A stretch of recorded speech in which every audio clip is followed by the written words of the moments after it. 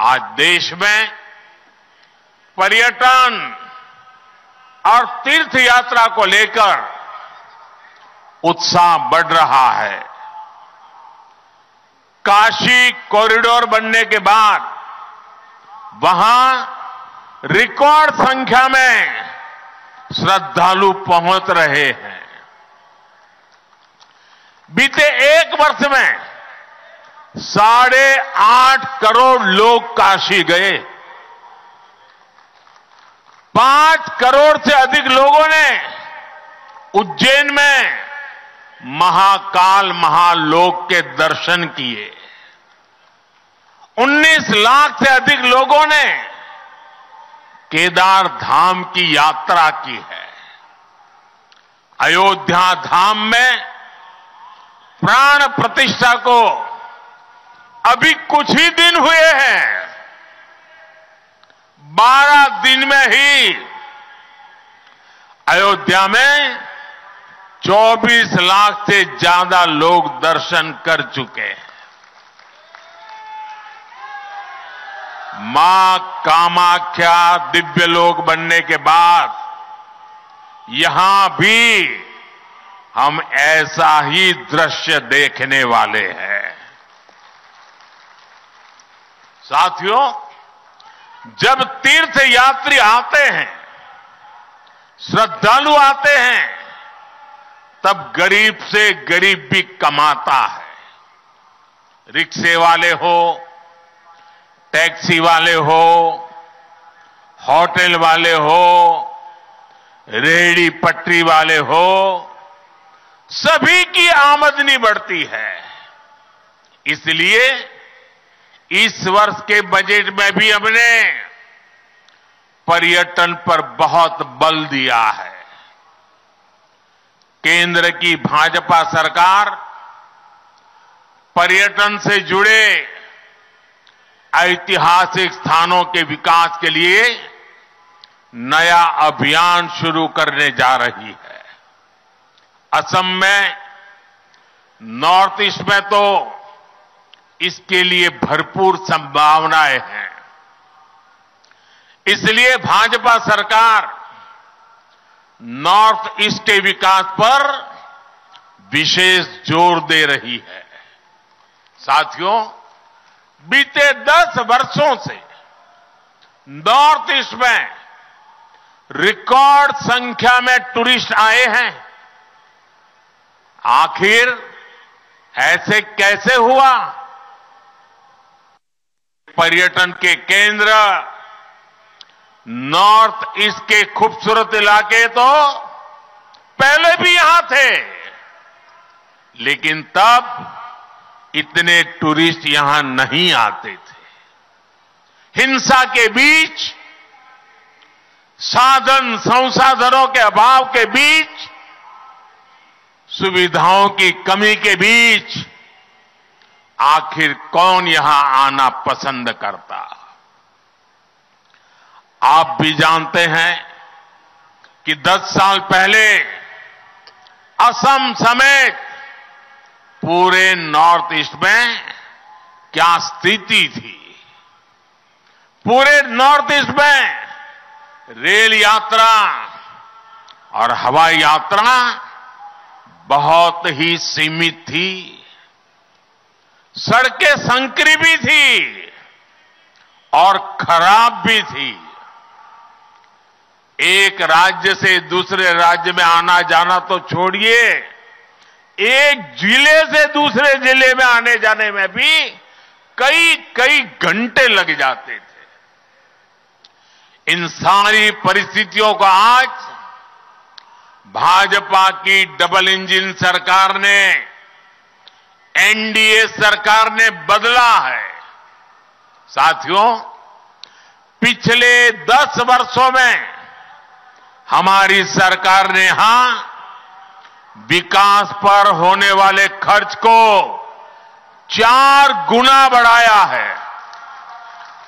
2014 के बाद railway track की लंबाई 1900 किलोमीटर से ज़्यादा बढ़ाई गई। 2014 से पहले की तुलना में रेल बजट करीब करीब 400 प्रतिशत बढ़ाया गया है। और तब तो प्रधानमंत्री आपके आसाम से चुन के जाते थे। उससे ज़्यादा काम ये आपका साथी कर रहा है।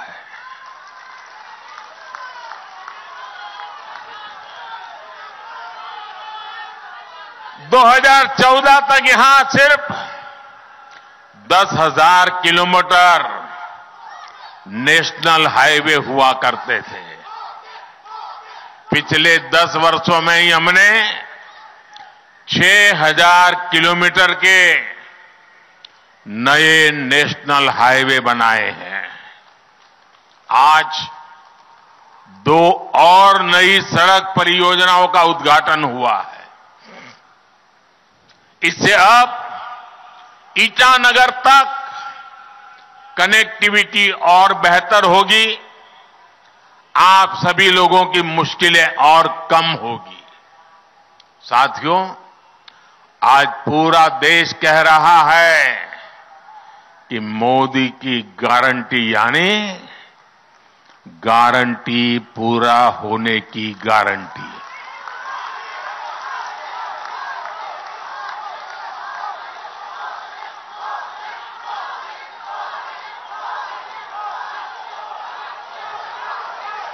मैंने गरीबों को, महिलाओं को, युवा और किसान को मूल सुविधा देने की गारंटी दी है। आज इनमें से अधिकतर गारंटियाँ पूरी हो रही है। हमने विकसित भारत संकल्प यात्रा के दौरान भी देखा है, जो भी सरकारी योजनाओं से वंचित थे उन तक पहुँचने के लिए मोदी की गारंटी वाली गाड़ी पहुँची है। पूरे देश में करीब करीब 20 करोड़ लोग सीधे तौर पर विकसित भारत संकल्प यात्रा में शामिल हुए हैं। बड़ी संख्या में असम के लोगों को भी इस यात्रा का लाभ मिला है। साथियों, भाजपा की डबल इंजन सरकार हर लाभार्थी तक पहुँचने के लिए प्रतिबद्ध है। हमारा लक्ष्य हर नागरिक का जीवन आसान बनाने का है। यही फोकस तीन दिन पहले जो बजट आया है, उसमें भी दिखता है। बजट में सरकार ने इंफ्रास्ट्रक्चर पर 11 लाख करोड़ रुपए खर्च करने का संकल्प लिया है। ये कितनी बड़ी राशि है, इसका अनुमान एक और आंकड़े से लगाया जा सकता है। 2014 से पहले के 10 वर्षों में यह आंकड़ा याद रखना मेरे आसाम के भाई बहन 2014 के पहले 10 वर्षों में कुल 12 लाख करोड़ रुपए इंफ्रास्ट्रक्चर का बजट रहा। 10 साल में 12 लाख करोड़। यानी जितना पहले की केंद्र सरकार ने अपने 10 साल में खर्च किया था करीब करीब उतनी राशि हमारी सरकार अगले एक साल में खर्च करने जा रही है।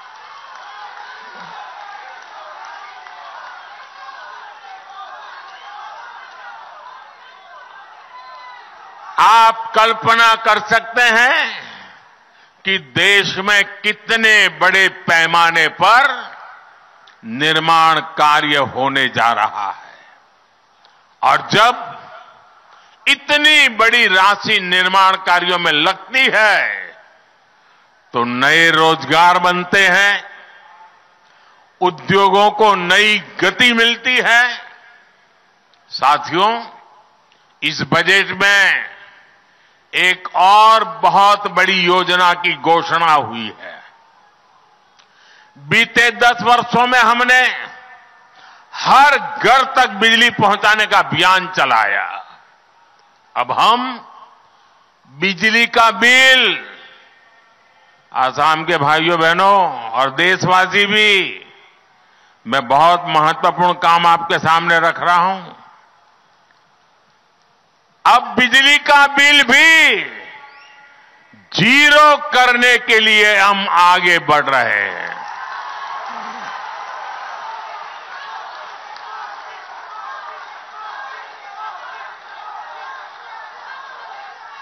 बजट में सरकार ने रूपटॉप सोलर की बहुत बड़ी योजना का ऐलान किया है। इस योजना के तहत प्रारंभ में एक करोड़ परिवारों को सोलर रूपटॉप लगाने के लिए सरकार मदद करेगी। इससे उनका बिजली का बिल भी ज़ीरो होगा। और साथ ही सामान्य परिवार अपने घर पर बिजली पैदा करके बिजली बेच करके कमाई भी करेगा। साथियों, मैंने देश की दो करोड़ बहनों को लखपति बनाने की गारंटी दी थी।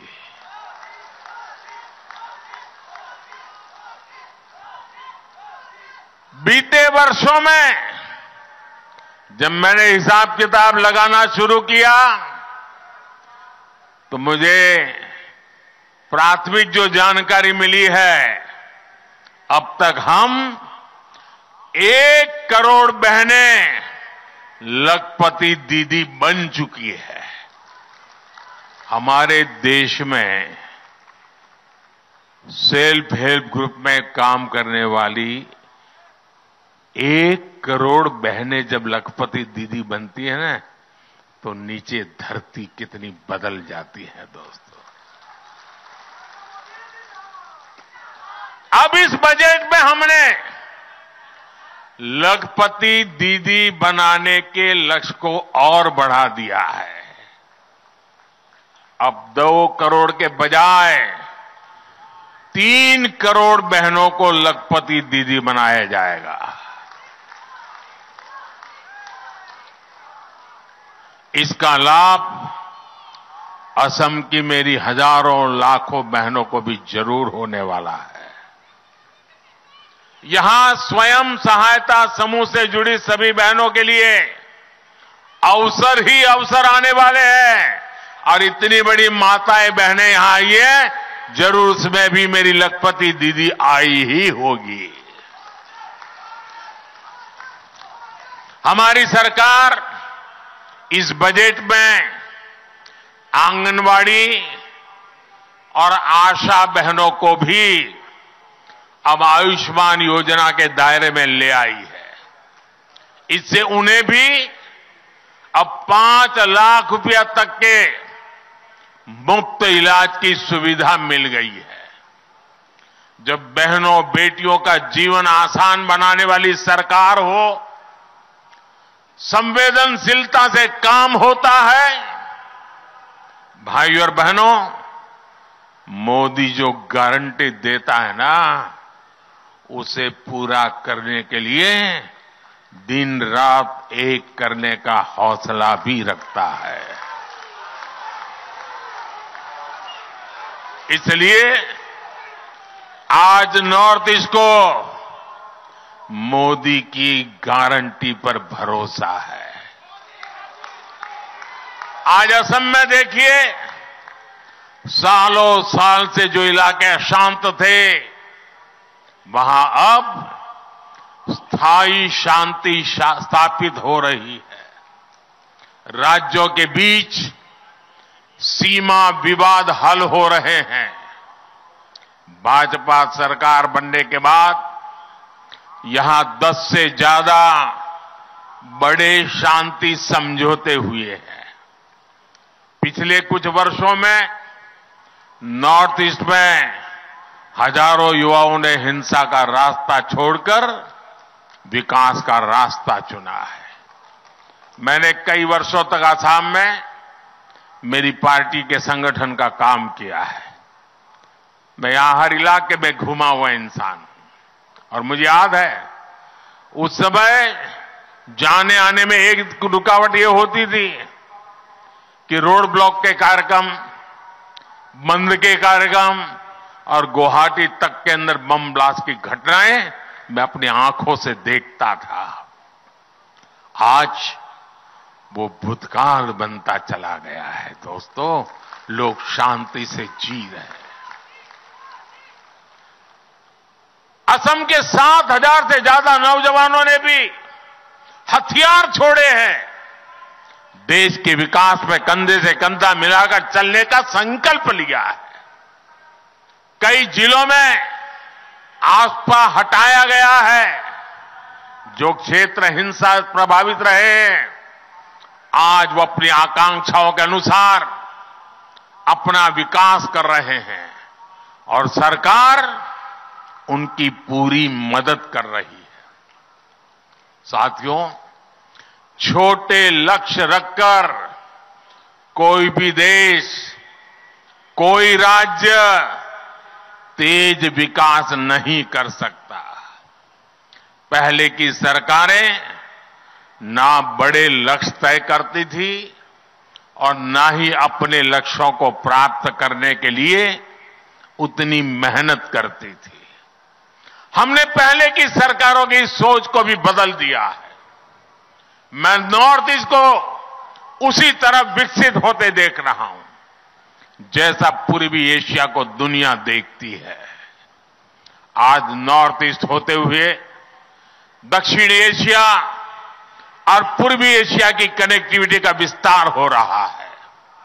आज यहाँ साउथ एशिया सब रीजनल इकोनॉमिक कॉरपोरेशन उसके कॉपरेशन के तहत भी अनेक सड़कों को अपग्रेड करने का काम शुरू हुआ है।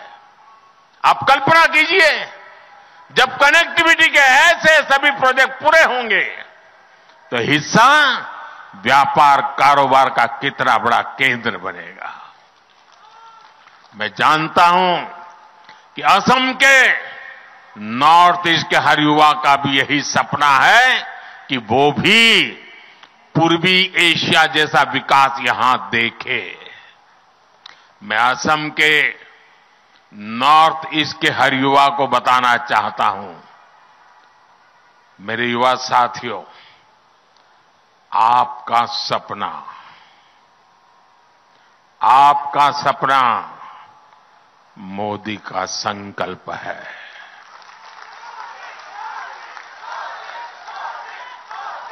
और आपके सपने पूरे हो। इसके लिए मोदी अपनी तरफ़ से कोई कसर बाकी नहीं छोड़ेगा। और ये मोदी की गारंटी है। भाई और बहनों, ये जो भी काम आज हो रहे हैं, इनका एक ही लक्ष्य है। लक्ष्य है भारत और भारतीयों का सुखी और समृद्ध जीवन। लक्ष्य है भारत को दुनिया की तीसरी बड़ी आर्थिक ताकत बनाने का। लक्ष्य है 2047 तक भारत को विकसित राष्ट्र बनाने का। इसमें असम की नॉर्थ ईस्ट की बहुत बड़ी भूमिका है। एक बार फिर आप सभी को इन विकास परियोजना की बहुत बहुत बधाई, और अब तो माँ कामाख्या के आशीर्वाद बहुत बढ़ने वाले हैं। बहुत बढ़ने वाले हैं। और इसलिए मैं भव्य दिव्य शाम की तस्वीर साकार होती देख रहा हूँ साथियों। आपके सपने पूरे होंगे, ये हम अपनी आँखों से देखेंगे, मैं आपको विश्वास दिलाता हूँ। फिर एक बार आप सबका बहुत बहुत धन्यवाद। दोनों हाथ ऊपर करके मेरे साथ बोलिए, भारत माता की, भारत माता की, भारत माता की, भारत माता की। बहुत बहुत धन्यवाद।